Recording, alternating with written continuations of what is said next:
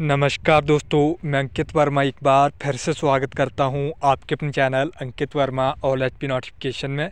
तो दोस्तों, जैसा कि आप थंबनेल पे देख ही चुके हैं कि हिमाचल में एच बस सेवा बंद, जो क्या न्यूज़ है, चलिए जानकारी आपको इस वीडियो में देते हैं।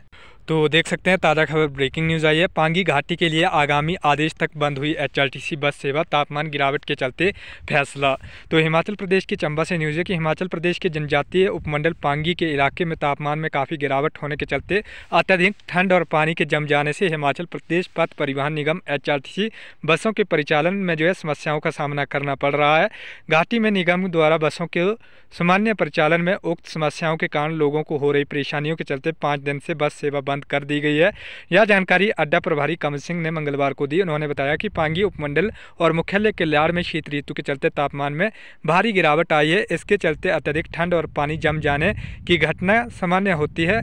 ऐसे में तकनीकी दृष्टि से बसों को स्टार्ट करना सही नहीं है। कम तापमान के कारण गाड़ी के रेडिएटर में मौजूद कूलेंट भी जम जाता है।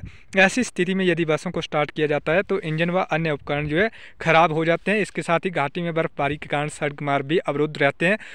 दुर्घटनाओं की संभावनाओं को मद्देनज़र रखते हुए लोगों की सुरक्षा के लिए इस तरह के कदम उठाए जाना आवश्यक है। उन्होंने लोगों से सहयोग का आह्वान करते हुए बताया कि मौसम के सामान्य होने की अवस्था में बसों को सुचारू परिचालन जो है शुरू किया जाएगा। तो दोस्तों, ये थी ताज़ा खबर ब्रेकिंग न्यूज़ हिमाचल प्रदेश के डिस्ट्रिक्ट चंबा से। अगर आपने अभी तक वीडियो को शेयर नहीं किया है, वीडियो को शेयर कर दें और चैनल को सब्सक्राइब करना बिल्कुल भी ना भूलें ताकि आप तक हिमाचल प्रदेश की हर नोटिफिकेशन सबसे पहले पहुँच सके। धन्यवाद। जय हिंद, जय भारत।